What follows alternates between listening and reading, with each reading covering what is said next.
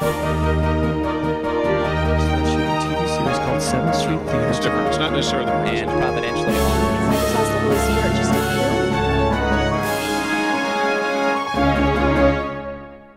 Hi, I'm Cheryl Wicker with Christian Movie Connect, and today we'll be visiting with Phil Vischer, known as the creator of Veggie Tales, and also now a new show called What's in the Bible. Welcome, Phil. Thanks for having me. Okay. Well, you know, most people do. Everybody knows Veggie Tales, whether they're a Christian or whether they're not a Christian. It's a very loved show. And I read an article by you recently where you said, you know, what I learned from Veggie Tales, the mistakes that I learned. What are some of those things? Uh, the biggest mistake I made with VeggieTales was making the work I was doing for God more important than my relationship with God. And I stopped listening to God because I was so focused on what the important thing I was doing for Him, and it, I made myself miserable. I almost worked myself to death, you know, literally. And it took losing it all for God to finally get my attention to say, I didn't call you to be miserable. I, I did not call you to work yourself to death. I just asked you to tell the stories I lay on your heart.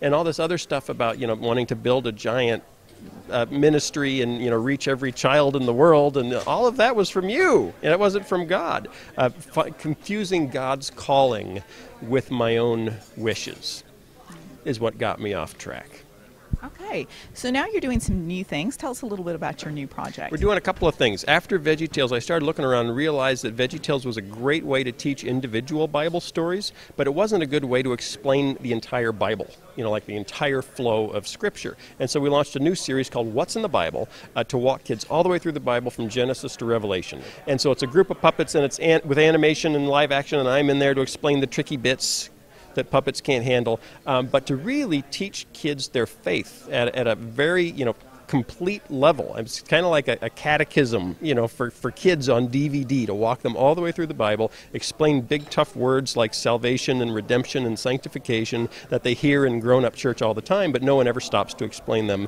to kids. And we're doing it with music in kind of the same way that I learned the preamble to the Constitution when I was a kid from Schoolhouse Rock. You know, this catchy little song on Saturday morning cartoons that stuck in my head, and even today, you know, 30 years later, I can still sing it.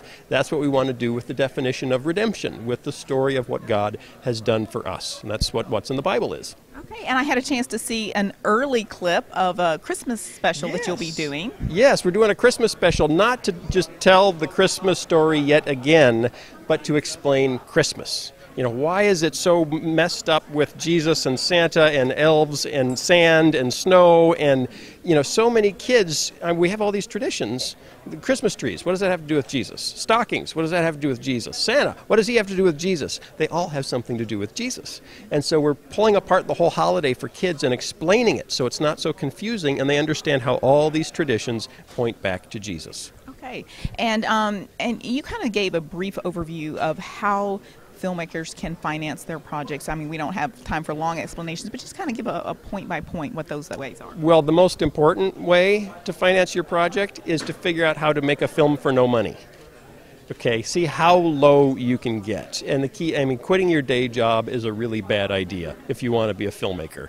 Most filmmakers have jobs other than being filmmakers. Uh, because the cheaper you can make a film, the more likely you are to get to actually make one. And the cheaper it is, the more likely it is to succeed. And the more, and if it succeeds, you get to make another one, which is really what you're. You don't want to make one film. You want to be a filmmaker. So the key is how cheap can you make a movie? You know, borrow, uh, beg, whatever. Don't. I was going to say steal because that's because these are Christian films we're making here. No stealing, and don't run up your credit cards because that's I don't know how biblical that is either. But that's where your parents come in. So, but we're also working with big ministries. Uh, there are big ministries that have budgets for media, but don't necessarily have people to do it.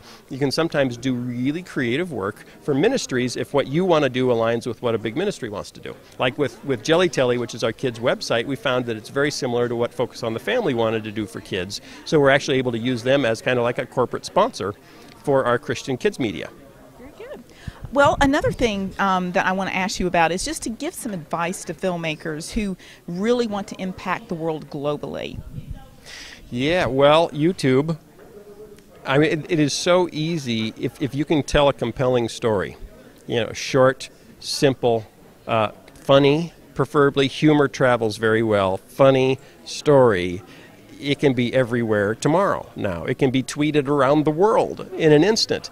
Uh, the, the, the key is to tell the story about characters, though, not about an idea. You know, a lot of Christian filmmakers say, I want to do a film about this issue. And it's fine to want to, to, to affect an issue, but no one wants to see a film about an issue. They want to see a film about characters.